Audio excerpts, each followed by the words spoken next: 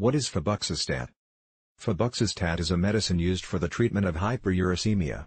The brand name of febuxostat is Uloric. Mechanism of action of febuxostat. Potent and selective inhibitor of xanthine oxidase, an enzyme that catalyzes the formation of uric acid. Therapeutic indications, uses and benefits of febuxostat. Chronic hyperuricemia in patients where uric acid deposits have occurred.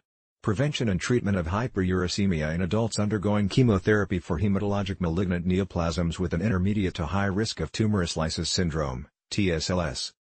Dosage of febuxostat. Oral. Gout, 80 mg day.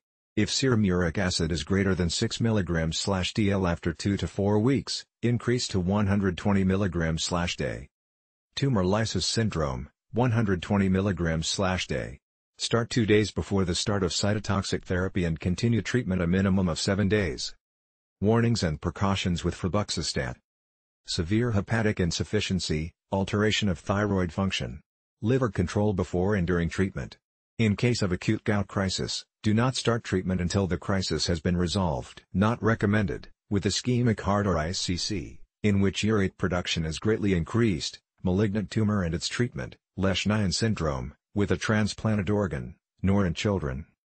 Risk of severe allergic-hypersensitivity reactions, including potentially fatal Stevens-Johnson-S, toxic epidermal necrolysis and acute anaphylactic-shock reactions, closely monitor for onset of symptoms and immediately discontinue if severe allergic-hypersensitivity reactions occur. Side effects of febuxostat. Acute gout crises, headache, diarrhea, nausea, rash, increased creatine phosphokinase in blood, abnormalities in liver function tests, agranulocytosis,